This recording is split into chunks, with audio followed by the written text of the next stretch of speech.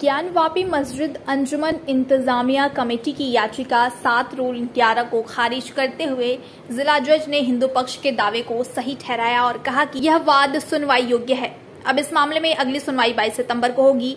जिला जज के फैसले के बाद अब इस मामले की सुनवाई सुप्रीम कोर्ट में होगी। इस फैसले की सुनवाई के मामले को लेकर रामनगरी के संतों ने स्वागत किया है। हनुमानगढ़ी के पुजारी राजू दास का कहना है कि देश में संवैधानिक क्रांति की ज़रूरत है। संविधान में आस्था के साथ कोर्ट को साधुवाद आज विजय मिली। आज खुशी का दिन है। अब मथुरा और काशी के साथ ही साथ बीस हज़ार मंदिरों में भी विजय हासिल करेंगे। श्री राम जन्मभूमि के रामलला के मुख्य पुजारी आचार्य सत्येंद्र दास ने फैसले का स्वागत किया। उनका कहना है कि मुस्लिम पक्ष की दलील थी कि उसको खारिज किया है और हिंदू पक्ष की दलील को रखा है। और आशा है कि अगली तारीख तक इसका फाइनल रिपोर्ट हो जाएगा।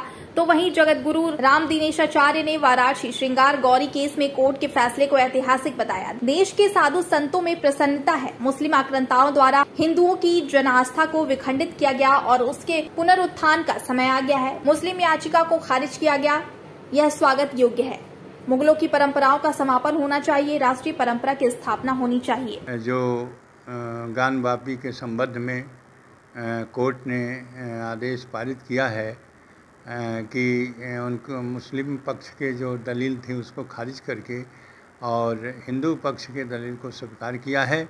इससे आशा है कि अगले तारीख तक इसका फाइनल रिपोर्ट हो जाएगा, फाइनल आदेश हो जाएगा और जिसके फलस्वरूप भगवान राम, भगवान कृष्ण के राम, कृष्ण की जन्मभूमि जिस प्रकार से चल रहा वैसे ज्ञान वापी का है। पहले ही शुरू शुरू में विश्व हिंदू परिषद ने जो आंदोलन किया था कि हमको तीन मंदिर चाहिए काशी, मथुरा और अयोध्या। अयोध्या का फाइनल हुआ, राम मंदिर भव्य बन रहा है और यह दोनों फाइनल के मतलब आदेश के करार पर हैं और सारे सबूत वहाँ उपस्थित हैं। निश्चित है कि यह ज्ञान वापी का भी आदेश हिंदू के पक्ष में हो जाएगा। तो मंदिर जो भगवान शंकर का है, वह बन, बनने लगेगा। इसलिए ज्ञान वापी के संबंध में जो भी कोर्ट ने कहा है, वह स्वागत योग्य है। धन्यवाद करता हूँ कि उन्होंने सारी सबूतों को समझ करके कि यह मंदिर है और मंदिर के पक्ष में ही होना चाहिए।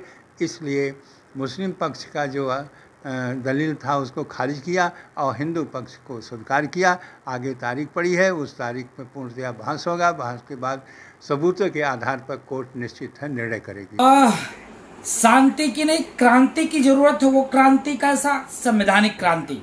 जिस प्रकार से मोदी जी ने इंडिया गेट से शुरुआत किया, मोदी जी ने कहा कि जो विदेशी आक्रांताओं की जो निशानी है, उसको हटाना चाहिए। आप देखिए कि आज सोमवार है, भगवान भोले का दिन है, और आज की शुरुआत देखिए कि जो वर्शिप एक्ट का मामला देकर और मुस्लिम पक्ष ये कहता था कि नहीं ये अधिकार हिंदुओं को नहीं है, इस कोर्ट जाने का, इस पक्ष को रखने का, लेकिन मैं कोर्ट को साधुवाद दूँगा संविधान में मुझको आस्था है और आज विजय मिला है और आज खुशी का दिन है।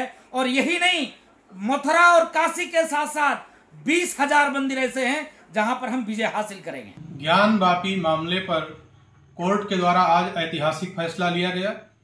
पूरा देश, पूरा समाज आज इस बात के लिए प्रसन्नता व्यक्त करता है कि जिस प्रकार से मुगलों के द्वारा इस देश में षडयंत्र करके हमारी जन आस्था और हिंदू के केंद्रों को खंडित विखंडित किया गया था, मुझे लगता है कि उसके पुनरुत्थान का समय आ गया है और इसी पक्ष में आज कोर्ट ने जिस प्रकार से इस मामले को सुनवाई के लिए जायज़ माना है और मुस्लिम पक्ष के मामले को निरस्त किया है, ये स्वागत योग्य है। मुझे लगता है कि मुगलों के द्वारा स्थापित की गई परंपराओं का समापन होना चाहिए और राष्ट्रीय परंपरा की स्थापना होनी चाहिए और भगवान भोलेनाथ गौरी के साथ वहाँ विराजमान होंगे।